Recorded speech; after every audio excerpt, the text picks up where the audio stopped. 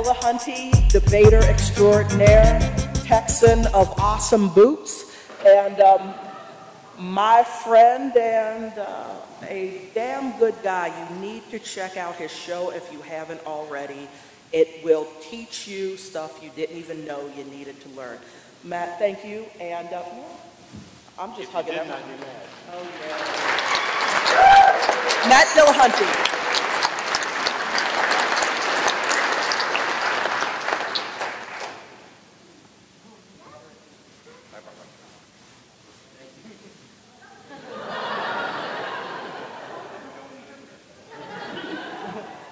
I don't know.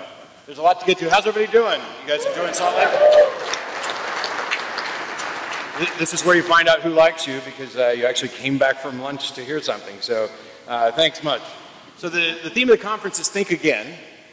And uh, I think we should do that all the time about absolutely everything. And I've said before that I am a friend to the religious by being an enemy to religion. And I'm also a friend to the atheist people that I love and come and speak to uh, by telling them things that some of them don't necessarily want to hear. And last year at the American Atheist Convention, I was uh, talking about how atheist groups aren't always skeptical enough, both to suit me and I think in general, and that it's, a, it's an issue. And so I'm very happy that I was invited back this year uh, to tell you all off again. but um, today I want to talk about debates. And I've done a lot of them. Um, I don't know how many people have seen some of them, but uh, I enjoy it. The TV show, by the way, The Atheist Experience, is a live call-in show. I guess I should start my clock. Now, those are the minutes of yours I'm going to eat up, Chris. Um, so it's a live call-in show, and basically it is let's have a debate. Let's have a discussion. I've learned a lot of lessons over that. I talked a little bit about it in the workshop the other day that we did at the beginning of the conference. And also, uh, Seth Aron and I are on this Unholy Trinity tour, and I tell some stories some of the debates. I might get to one of those today. Um, by the way, I need to do this, and I'll apologize, uh, and just be honest. Raise your hand if you know who Sye Ten Bruggencate is. 17, 18. Thank you. Because he thinks you all know who he is. Or at least Eric. So, should we be debating? Does it work?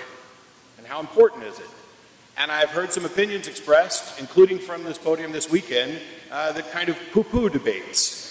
And that's okay, because you're entitled to your opinion, and we are all entitled to be spectacularly wrong. And they are.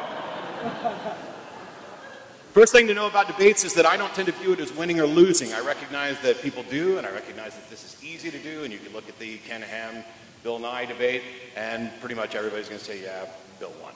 Uh, but I don't tend to look at it as winning or losing because I'm not there trying to change the mind of my opponent. I am there to present information and get it out to an audience because that's where the, the biggest value is. There are very few people who are going to change their mind over the course of a single debate, although it has happened. And when you're doing it for the audience instead of your opponent, and instead of for yourself, you're going to do a better job. Now, I don't, first of all, I don't presume that everybody out here is going to be running out to start doing formal public debates, time debates, and all these other things with formats and stuff. Most of you are going to be engaged in the informal debates, talking to the people you love about why they're wrong. You can get a lot out of the big public debates that others are doing. Debates are about getting information out to both theists and atheists. You get information out to the theists that allow them to challenge their beliefs, and you get out information to atheists so that they can help develop better arguments as we continue to move forward. It's about making sure that theists get to hear about atheists from atheists instead of from the pulpit which has been the problem for a long, long time. Their perception of who atheists are is dictated by whichever authority they happen to accept that stands in front of them and says what atheists are. We need to be the authority on what atheists are, and they need to get that into their heads really quickly. I don't want them to ever be able to say they've never met an atheist. I don't want them to ever be able to say they've never met an atheist who couldn't defend their position. I don't want them to ever be able to say they haven't met a nice atheist, no matter how much of an asshole they may think I am from time to time. Debates. Why would you do these big formal public debates? It's a little bit about kind of rising above the polemics, which I think have their place, rising above the ridicule, which I'm absolutely positive has its place, and anybody who's seen my show will attest to that, above the snark, If you think about it, though, a book like The God Delusion or David Fitzgerald's Nailed, those are debates. The key to doing this is to make sure that you know your opponent's position as well or better than they do. And every time we have a book come out that becomes an atheist bestseller, it is a little miniature debate. Many times they'll be presenting the arguments of the opposition and rebutting them. You're only getting the information from one side, but considering that the other side has had many millennia of privilege and advantage about getting their information out, I'm not going to discount anybody for actually putting out a book that's one-sided. The other question that comes up quite often is who should be debating? Should Bill Nye have agreed to debate Ken Ham? I'm not going to do a show of hands because we're going to need a fistfight breaking out in the middle of my talk, but I don't tend to like, like it when scientists debate creationists and people who are advocating for anti-science because it falsely elevates the anti-science, the creationist position, and it wastes the time of the scientists.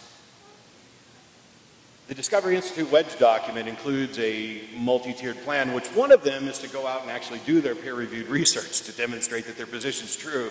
And even though it's been around for many, many years, they still haven't done it.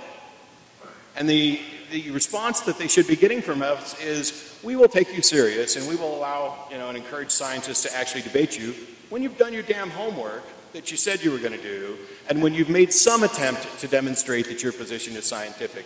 But as long as you're just going to be the person who grabs poo and throws it and rubs it all over science, why would any scientist want to come debate you? But I'm fine with science enthusiasts debating creationists. For example, let's, let's get Aron Ra out there to debate them left and right. Because the lies that these creationists are telling have to be combated. You have to get in, you have to go into that territory and actually engage. One of the reasons that I think we should do it is because we can explain why they are wrong.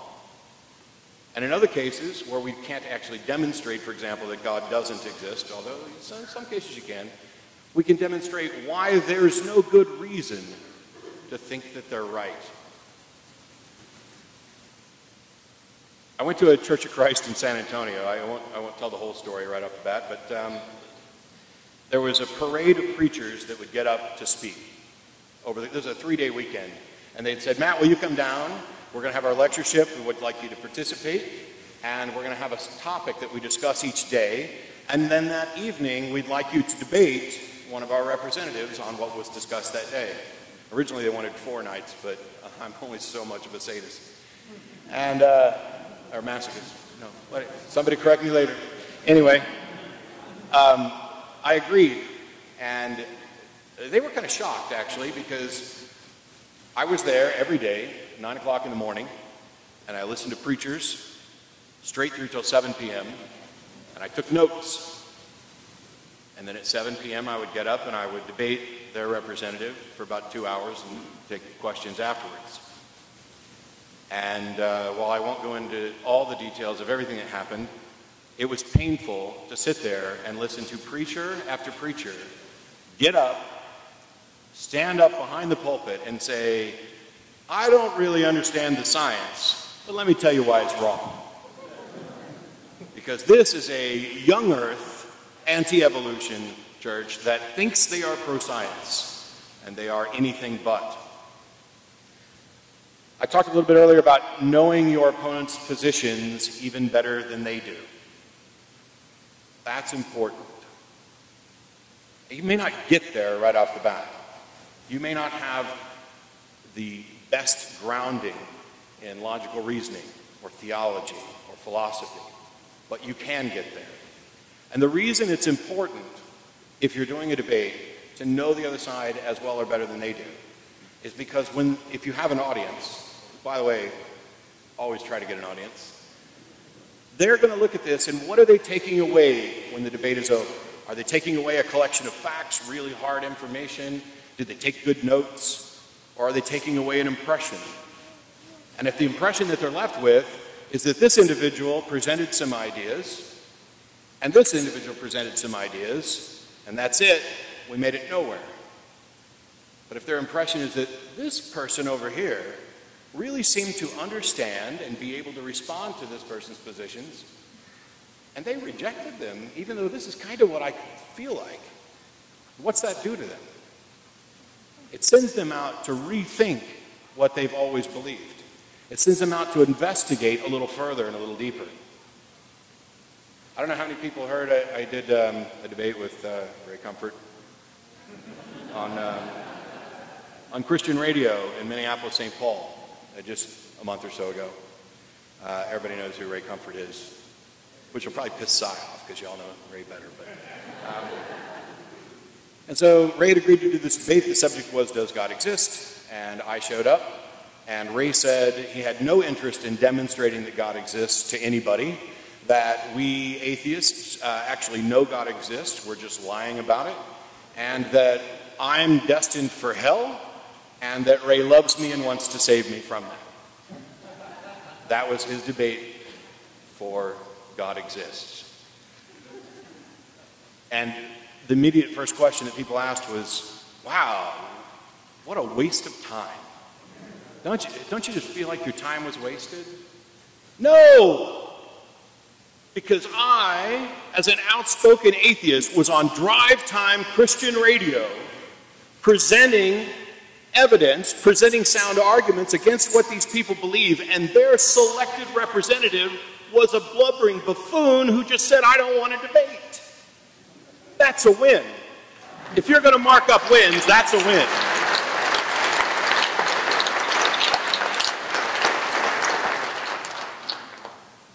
Now, somebody just sent me a message.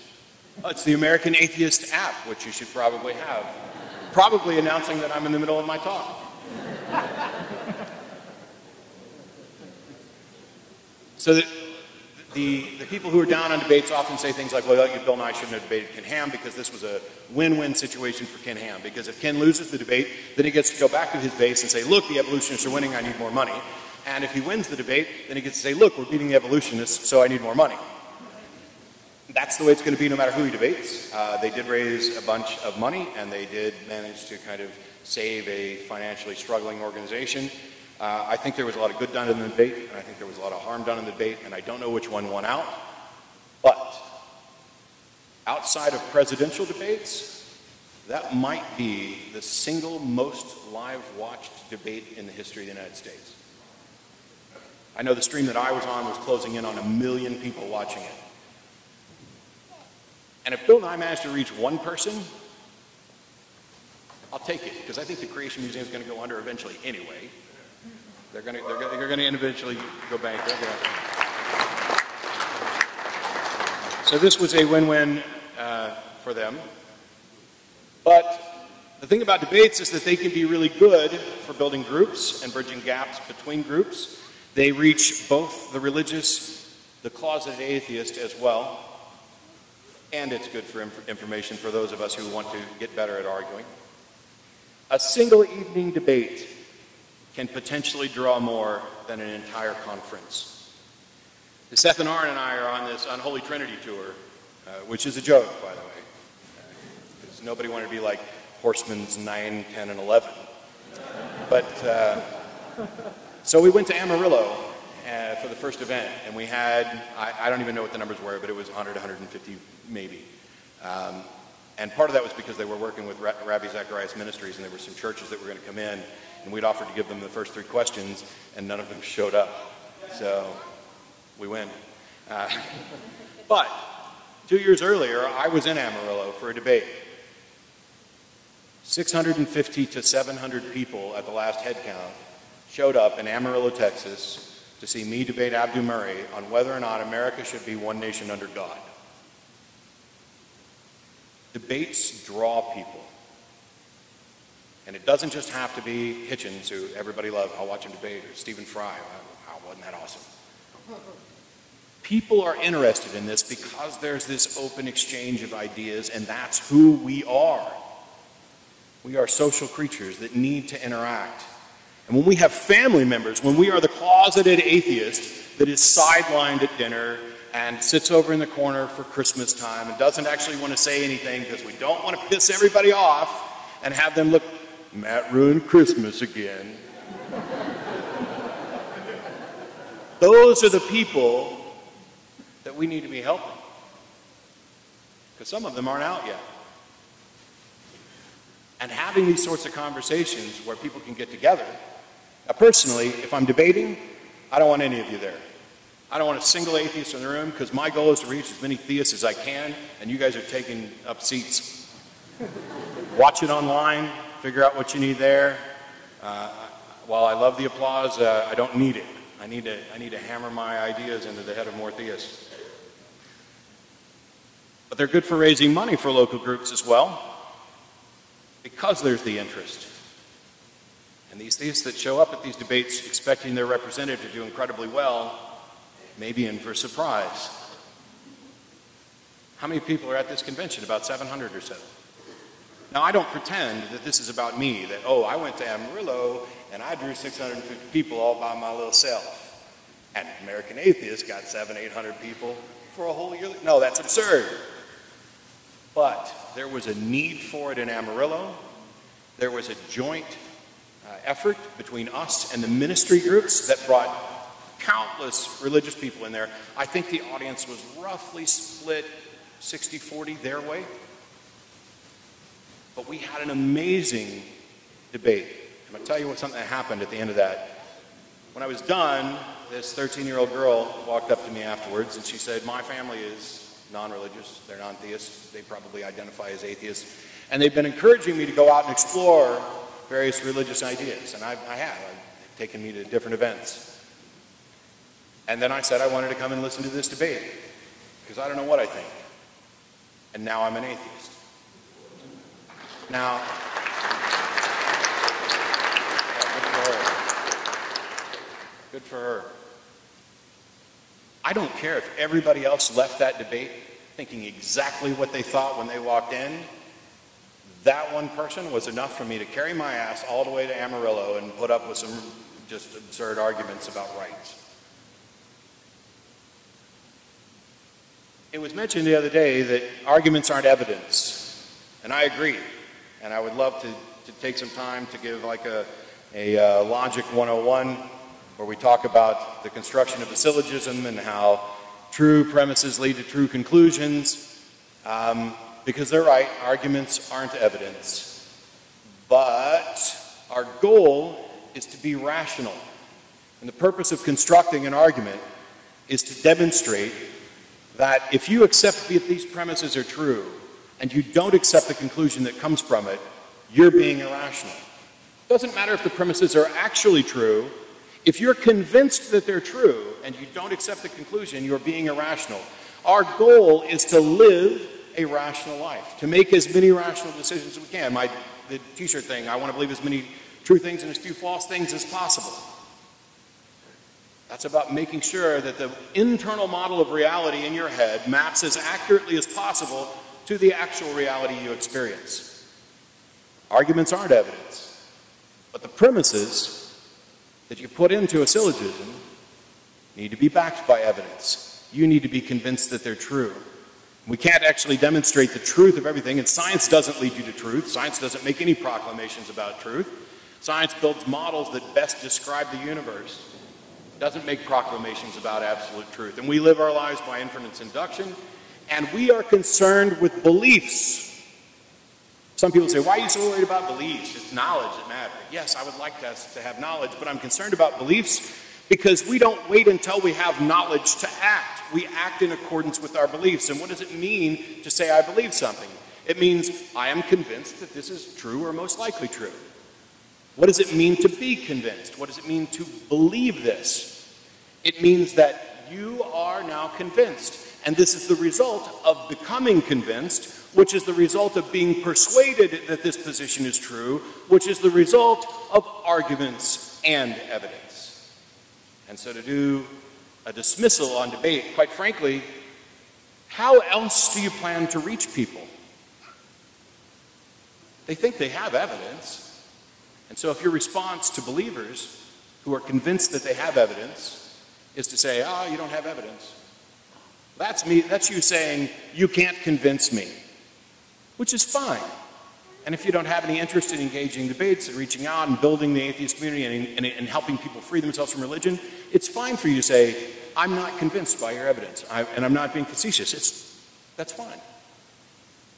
But if your goal is to change their mind, and all you say is, I don't accept your evidence, I don't see that you've made any progress at all.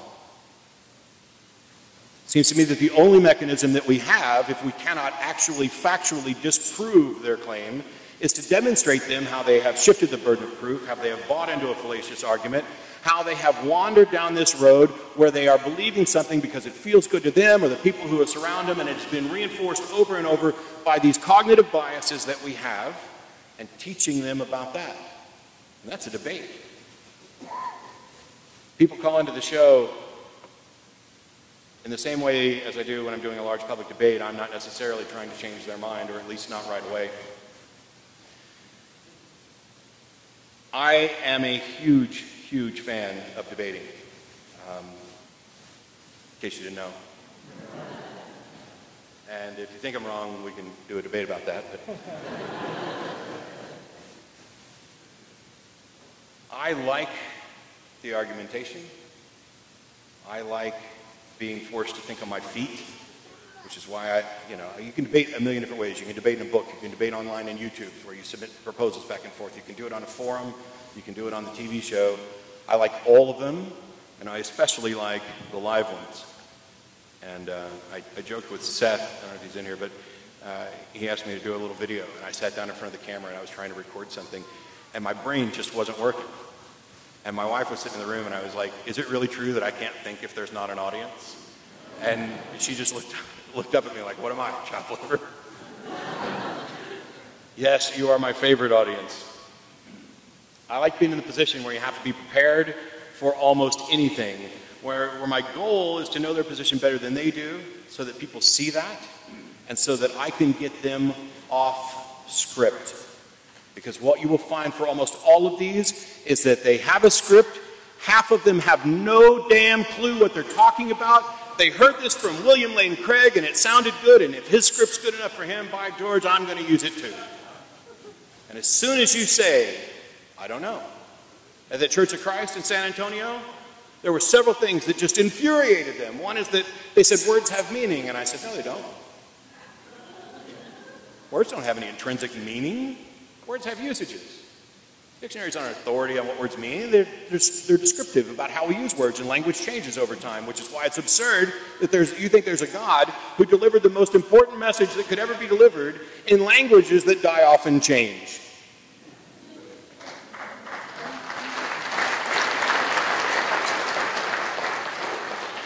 The second thing that made them mad is Matt just keeps saying, I don't know. We brought this atheist guy down here and we asked him, where consciousness comes from, and he says he doesn't know.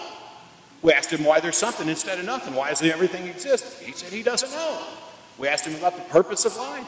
He said he. Well, I said a little bit more than I don't know, but boy, did it annoy them that I didn't come down. And the preacher actually came up to me afterwards and said, Does it, Doesn't it bother you? Are you happy to go to your dying bed saying, I don't know? No! That's why we go out and explore. I am not going to be happy not knowing, but that doesn't mean that I'm justified in pretending I do know in order to make me feel better about not knowing.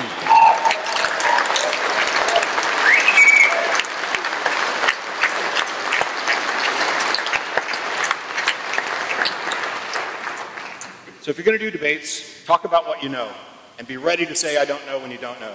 And follow it up if you're teaching kids and a kid asks you something, Say, I don't know, but let's go find out. And as long as you're talking to theists, if they're going to act like kids, say the same thing. I don't know, but let's go find out. Because their method for finding out is not the same as the rest of the world. Their method is to say, there's a book for that. I got books too. And I don't believe things just because they're in a book, even if it's written by a prominent scientist. It's the evidence behind it and our ability to discover and explore, or explore and then discover, that gets us to a better understanding of reality. If you want to do formal public debates, by all means, watch lots of them. Talk to the people who've done many of them. There are many people in this room uh, who've done tons of debates, so there's lots of people in the movement that you can talk to. Um, I'm not going to give out a list of names um, other than to say, you know, Eddie and Frank and blah, blah, blah. Talk to them because there are many different approaches, there are many different views, there are many different takes on which arguments work, which ones don't, what format works better than others, what questions or what positions should or shouldn't be debated. Get all those opinions, and if you disagree with them, fine. Because I do. I disagree with everybody in this movement at some point, which, which is fun, actually, because that promotes more debates.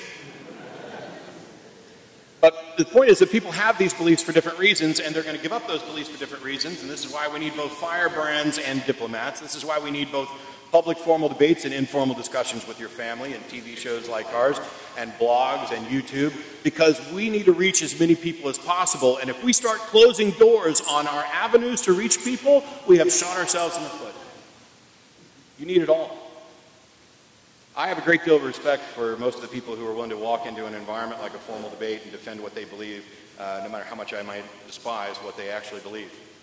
I've debated the secular pro-life group or some representative or quasi non-representative blogger of theirs on a couple of occasions, and I respect both Kristine and uh, Clinton for actually defending their positions in a debate. It's hard to do. This isn't for everybody. There's a personality component to it. There's a theater component to it. There is a rhetorical component to it. Not everybody is geared to do this, and not everybody is willing to say, I'm ready to put my beliefs up on trial in front of everybody. This is why you do the debates. And I'm not necessarily going to, to, venture off into territory and, and talk about mirror neurons, but I will talk about empathy and what we know about it. And that is, if I see someone up there defending what I believe, and they put themselves in a position where they are humiliated and embarrassed, I experience that. But I have the good fortune of not being that person and not, have, not having been in that position. And so now I'm going to go figure out how to make sure that shit never happens to me. And so when they see their heroes embarrassed, this sends them out to find better defenses. This is how you make atheists. When I was a fundamentalist Christian trying to change the mind of my roommate, my goal was how do I convince an atheist that they're wrong? So I went and looked. It backfired spectacularly.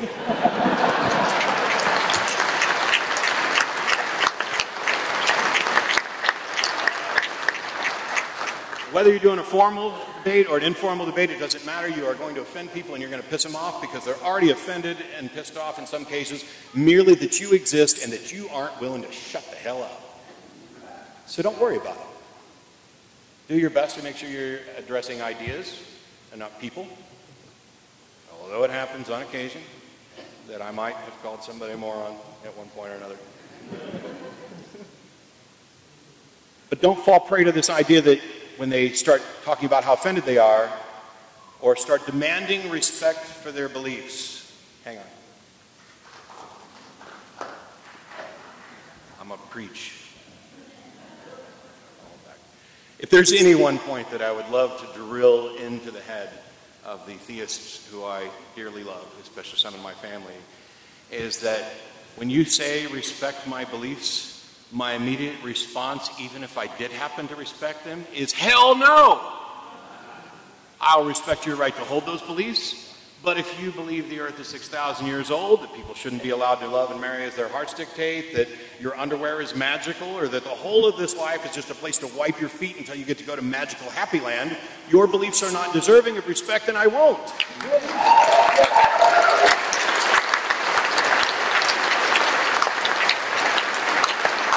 It doesn't mean it doesn't mean that I don't respect you as a person, and me telling you that shows you that I respect you as a person.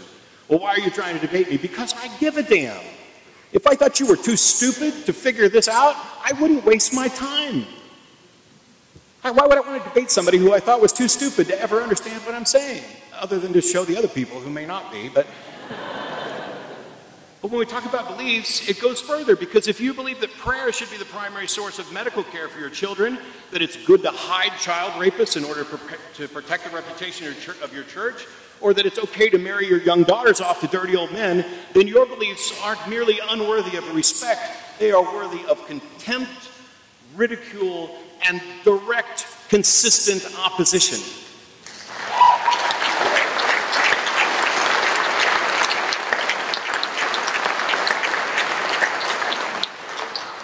I do debates for a lot of reasons. I do the TV show, Every Call's a Debate, uh, the debate we're doing in Memphis on May 31st against that guy that nobody know.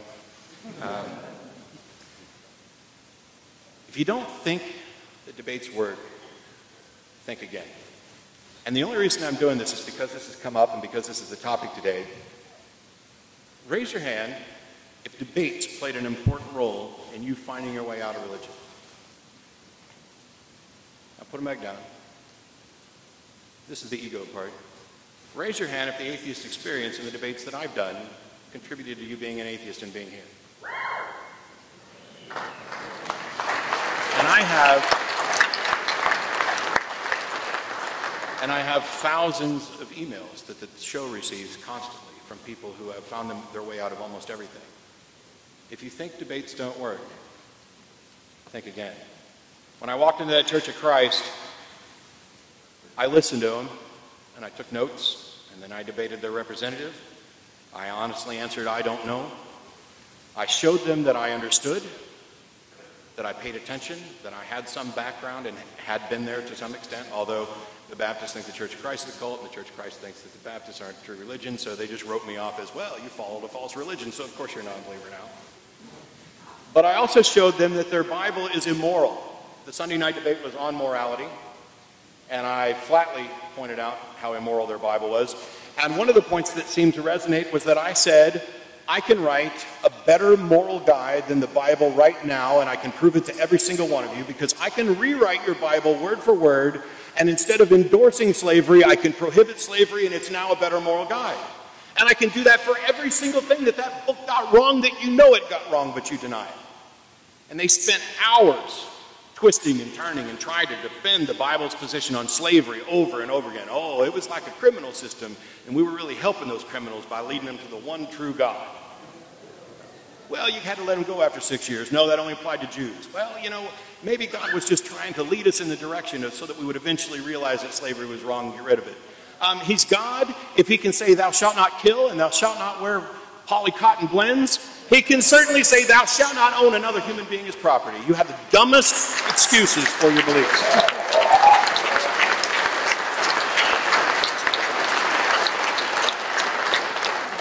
Over the course of several terrifying and depressing days in that church, where I watched joyous celebration of willful ignorance on parade and encouraging it in other people in the pews, I was pretty depressed. And I had claw marks in my wrist because Beth was sitting next to me and would reach over and go, Well, I won't tell everything that happened afterwards. There were some discussions. Some people in the church were not happy that they brought me down. And they went to the elders to talk about it. Hey, and they, some of them had dared to suggest that I might have presented a better case than their representative. And then they started emailing me. I had a gentleman who said, you know, hey, I'm a widower and my church is opposed to sex outside of marriage. What do you think? That's weird. I didn't talk about sex much all weekend, I don't think. These, these are people that only accept the New Testament. That's their only authority. In the course of three days, I went down and I debated. And now some of them are willing to reach out to another potential authority. And of course, the first thing I'm going to tell them is stop reaching out to authorities. Go, find yourself a consenting partner and have as much sex as you want. Do it like bunnies. Debates get people talking. They get people thinking. They help free people from years of indoctrination. They help build new atheists to fill conferences like this. They help give atheists better arguments to create more atheists who have better arguments to create more atheists. They're one of many tools at our disposal. And in addition to doing the TV show as long as I will and the informal debates, I will continue to do the big, flashy, formal, constructed public debates for as long as I die, even uh, as long as I live. That would be good. and it completely killed the build up to my closing. For as long as I live, even if there's ever only one 13 year old girl that comes up and tells me that she's an atheist because of what we've done. There are plenty of people in this movement who spent years studying all of the problems in theology, not just Christianity. A lot of it we didn't have to do the legwork. If, you want to know what's wrong with Christianity, you ask a Jew. If you want to know what's wrong with Judaism, you ask a Muslim. So we, they did a lot of work for us, but there are a lot of people here who spent their lives learning this stuff and living this stuff and caring about people. Debates are kind of critical thinking theater, and you take something different away from it. And when you have, when the debates are done well, and you have a knowledgeable, passionate, empathetic proponent of a position, that can help change the world. If you don't want to change the world, that's your prerogative. Don't get in the way of those of us who do.